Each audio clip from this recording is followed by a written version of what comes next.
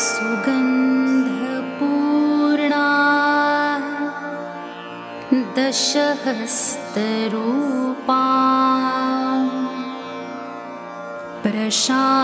प्रशान्तचित्ता सुखनादतन्वि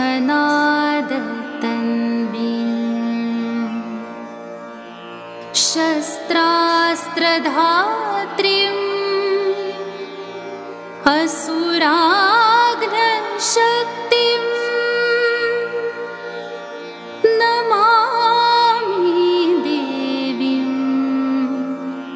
नवचन्द्रघण्टा। नमामि देवीं। देवि